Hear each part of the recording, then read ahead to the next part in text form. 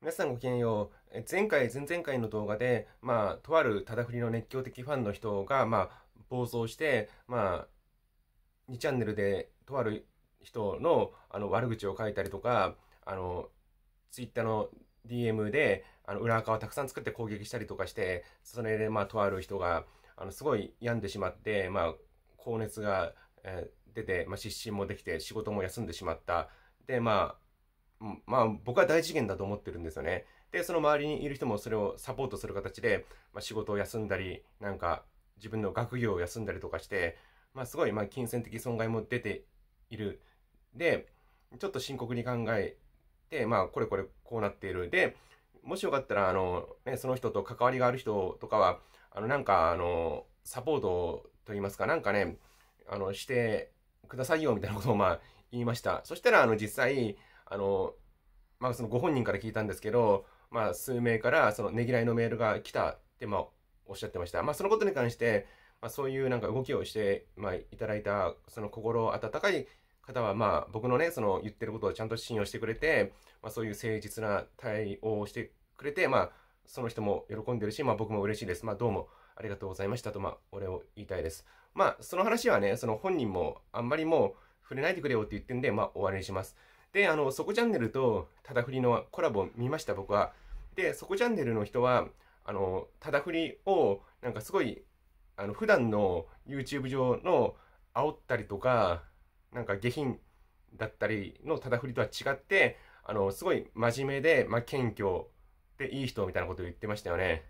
で、それに関して、あの、僕は正直、あの、そういう捉え方はしなかったですね。もちろんね、そこチャンネルとしてみれば、あの自分よりその数字をねあの背負っているただ振りと、まあ、一緒にあの動画を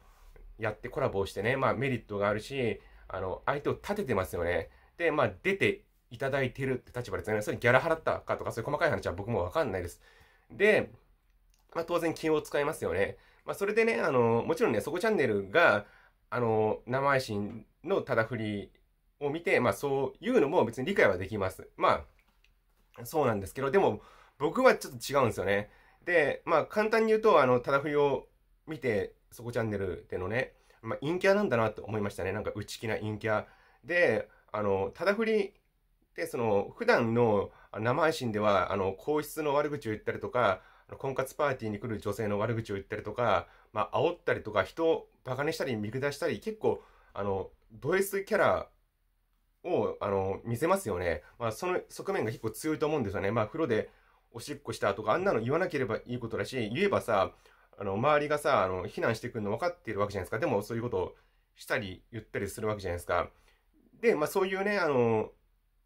印象も、印象をそこチャンネルも持っていたと思うんですよね。でも実際対面したら、まあ、そうじゃなかった。まあ、謙虚で真面目な人だった。で、まあ、簡単に言うとね、あの、そんなタラフリはじゃあ何なのって言うと、まあ、陰キャなんだな。自分に自信のない陰キャでしかないなって僕は思いましたね。例えばなんですけど、木村花さんにあの悪口書く人っていっぱい、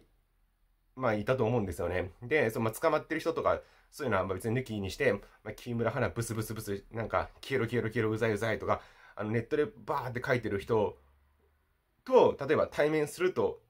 するじゃないですか。そしたらそういう人はどういうなんか態度を取るかっていうと、あの、そこチャンネルに出ていたただ振りみたいな態度を取ると思うんですよね。そのネット上では強気でも、そのオンライン上は強気でも、オフラインではその、内気でなんか、おどおどうじうじした、なんか自信のない、なんか人の多いと思うんですよね。で、でもその、ネット上では強気。だから、ただ振りはネット弁慶だと思うんですよね。で、ね、あの、一貫性持てやと思うんですよね。あんだけさ、あの、自分のフォームではさ、もう、ネット弁慶になってさ、すごい強気なのにさ、あの、そこチャンネルの方に行ったらさ、なんか、内気で引いてさ、なんか、キョドキョドしてさ、なんか、もじもじしてるじゃないですか。要はさ、あの、ただ振りは、あの、婚活パーティーに来た女のことをすごい悪く言うじゃないですか。学歴でしか数字を見れ、ね、学歴とか数字でしか男を見れない、なんかつまんねえ女どもだとか言うけど、結局ただ振りってあの、婚活パーティーに行ったら、あのそこチャンネルに出てたようなただ振りなんですよね、きっとね。だから、もじもじうじうじして、あの声もかけれずに、相手を楽しませることもできずに終わってしまって、で、自分の、ね、YouTube のホームでは、めちゃくちゃなんか強気で 悪口を言うってね、自分が実力がないからってね。で、あの、もちろんね、そこチャンネルはその、ただ振り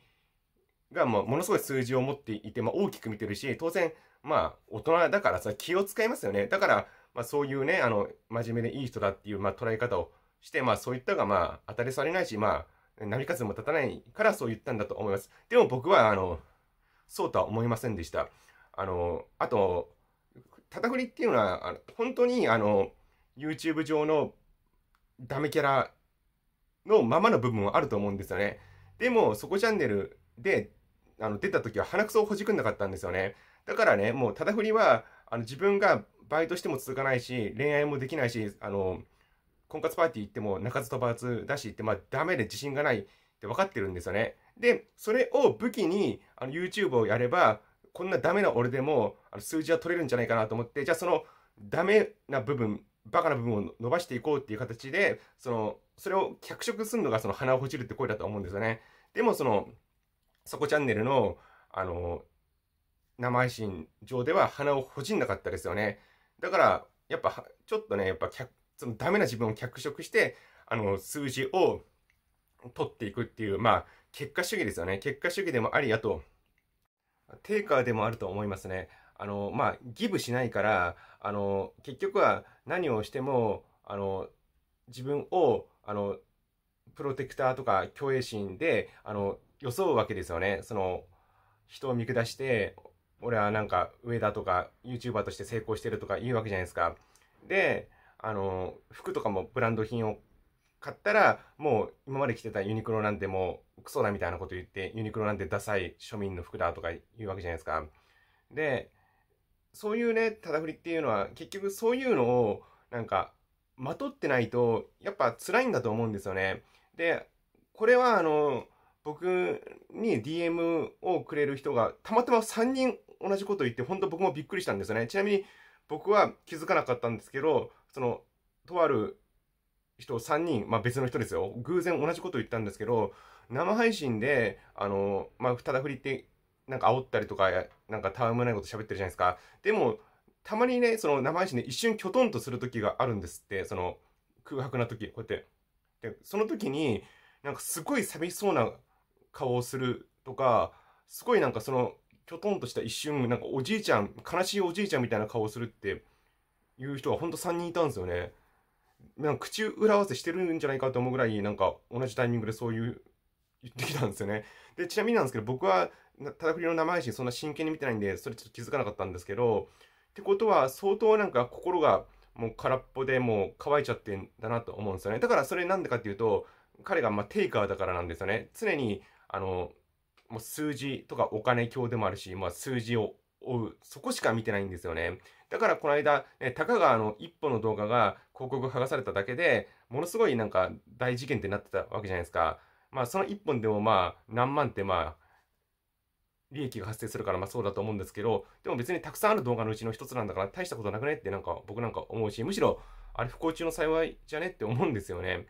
あの全部が広告が剥がされたわけじゃないから。で、ただ振りがあの DM を開放した時が一時期あったんですね。その時にあのやっぱリスナー同士での人間関係で揉めることもあって、まああんまその僕もこのことをもう触れたくないし、咎めたくないんですけど、まあとある人がすごい暴れるから、暴れても嫌がらせするから、なんとかしてくださいって、結構あの、いろんな人がただ振りに相談したんですよ。で、ただ振りは、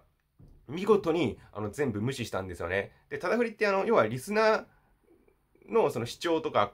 あのスパチャとかであのご飯食ってるわけじゃないですか。で、もちろんね、そのことを解決する義務はないんだけど、無視はないだろうって思うんですよね。なんかね、あの、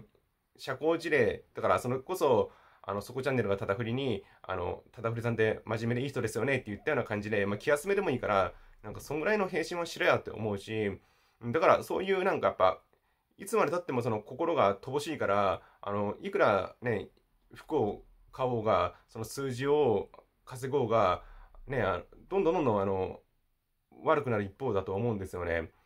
だからその、もう、根と茎がしっかりしてないのに、まあ、花だけ成長してもやっぱ植物ってダメじゃないですか。まあそういうことだと思うんですよね。で、まあ、ただ振りね、健康状態もどんどん悪くなっていくじゃないですか。ブクブク太って。あれも30代の体だとは思えないです。で、おしっこも近くなるとか、なんか、なんか、便の方もなんかね、障害があるとか言ってるじゃないですか。で、もうこうなっちゃうともう人間廃業みたいになっちゃって、なんか、うん、気の毒だなと思うんですよね。で、やっぱ僕はその、ただ振りにスパチャをするっていう行為は、もう本当にあの、糖尿病の、なっていて、あの、週に何回かその、注射を打ちに行っている人に、あの、ドーナツを与えるようなもんだと思うんですよね。ただ振りにスパチャをするってことは。やっぱね、あの、まあ、いくらなんでもただ振りがああで末期だと思うけど、最後まで諦めちゃダメだと思うんですよね。やっぱ、ただ振りにはそのお金は、あの、実際、後でこの話もしますけど、ちゃんと収益が、あの、立派な額あるんですよ。だから、あの、スパチャをするんじゃなくて、知恵を与えましょうよって僕は思いますね。で、うん、やっぱその、ただフリね、その、自分のその、ダメなところを武器にして、まあ、要は、アンガールズとか、ああいう感じですよね。かんまあ、ざっくり言うとね。で、そこを武器にして、さらに自分で誇張して、あの、脚色して、なんか数字を稼いで、でもその分、あの、やっぱ、常にその、ただフリが放ってることっていうのはネガティブじゃないですか。やっぱそれっていうのは、いくらエンターテインメントでも、もう何でもね、やっぱネガティブなことを放ってば、やっぱそれが返ってくるから、きついと思うんですよね。だから、俺、ただ振りは、あの、全く俺成功してないと思うんですよね。その数字の部分はすごいし、あのね、確かにあの、自分でやりたいことを一生懸命頑張ってきた音楽、お笑い、ね、それを、まあ、やりたいことを挑戦して、それで食っていきたかったんだけどダメだった。で、YouTube にたどり着いて、あの、YouTube では成功した。そこだけ、あの、切り取ったら素晴らしいし、すごいし、かっこいいと思いますけど、でもあまりにもただ振りのその、心構えが悪すぎるから、あの、ちょっとね、うん、心配ですよねって僕は思うんですよね。まあ、とりあえず一回切ります。で、ただ振りのこのスパの記事なんですけど、まあ、スパにね、その、掲載された、掲載されたって言っていたけど、全然その深い話もしてなくて、まあ、ざまあ、ざっくり自分の成功のサクセスストーリーとかをなんか話してるだけです。まあ、みんな知ってる内容だと思います。まあ、低収入の暮らしに包括した YouTuber も増え、今、レッドオーシャンに夏昨今、そんな中、まあ、6月から、まあ、YouTube して、ただのフリーター、が成功した。まあ、厳密に言えば5年前からやってるんですよね。あの手この手でいろいろやってきた男なんですよ、彼は。で一見何の変哲もない日常をアップしている思いがなぜ成功を収めることができたか。もともと好きなことをして生活していくのが夢だった。青森の高校卒業してから上京して、バンド、お笑い芸人、T シャツ3倍など思いつくことをいろいろやってきた。まあ、どれもうまくいかなくて。でもこれこれは別にうまくいかなくても、あの、実際にね、この上京してきて、いろいろやったってことはめちゃくちゃかっこいいことだと思うんですよね。並行してアルバイトで生活を稼ぎ、引き継いだ時は30中盤。そんな彼を救ったのが YouTube だった。最初は過激な、えー、内容が伸びると思ってパンストをかぶって上半身、裸で何かに切れたり思いつくままに動画を上げていたが、全然ダメ。他を見て分析したところ、ただの日常動画の平均再生数が多いことに気づいて自分も真似しようと思った。だから今のただ振りが、あの、やってることっていうのは、もう本当にこのテクニックとか、まあ、数字ありきでやってるんですよね。だからいつまでたっても彼は、あの、幸せになれないのかなって思うんですよね。芸人を目指していただけあり、プライベートを探すのは抵抗がない。毎日の、えー、食事や入浴、トイレ、掃除、公共料金の支払いまで、生活すべてを徹底的にコンテンツ化、髪型もおじさんの象徴である角刈りに変え、自身をキャラクター化した。で毎日淡々と投稿を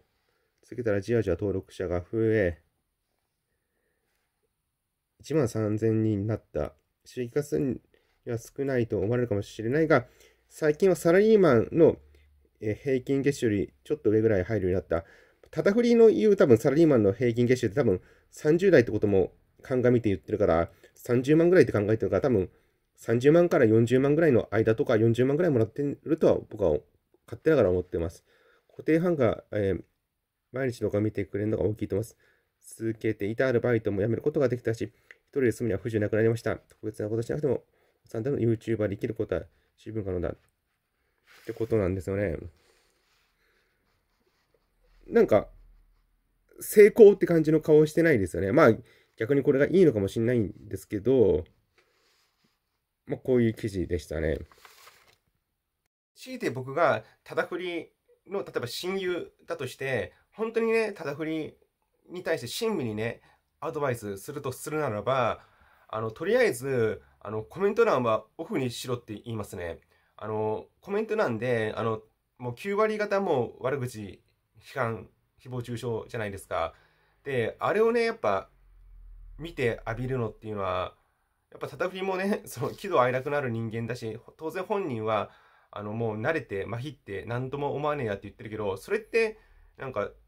ちっとも美しいことでもかっこいいことでもないんですよね。もう心を殺してまで、その、YouTube やって、そんなにあの、再生数とね、お金稼ぎたいのかって思うんですよね。もっと心を大切にするべきなんじゃないのかって思うんですよね。で、もう人間のその一生なんていうもんは、別にね、あの、セレブ暮らししようが、まあ、極論ね、その生活保護暮らししようが、一生であることには変わんないし、別にね、どっちのね、暮らし、生活でも、あの、幸せと不幸はつきまとうわけですよね。だからさ、なるべくその、精神の状態を良くして、なんか、人に対してその、温かい気持ちでその接したりするってことのが、よっぽど大切なんじゃないのかなと思うんですね。その生活の地位とか学歴とか、そんなものは抜きに。で、あの、当然ね、コメント欄をオフにしたら、その、ブワーってその、誹謗中傷を浴びなくて済む反面、再生数が落ちて収益も減る可能性がありますよね。で、でも一回そうしちゃった方がいいじゃんって思うんですよね。だからまあ分かりやすく言うと、その、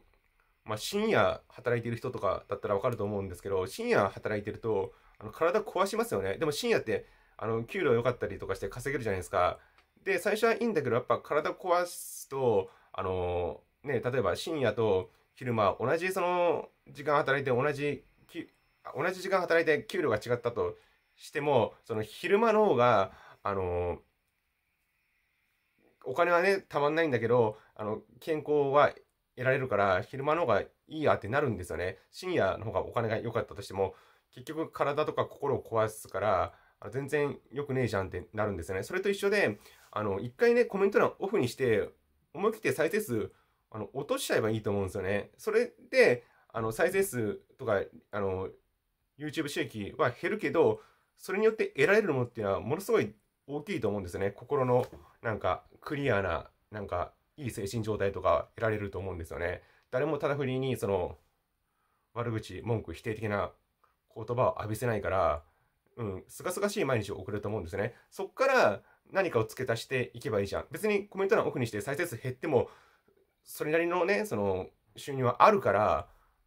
そうした方がいいんじゃないんですか？って僕はね、あの本当に親身になってアドバイスするならそう言いますね。ま、そんな感じですね。どうもありがとうございました。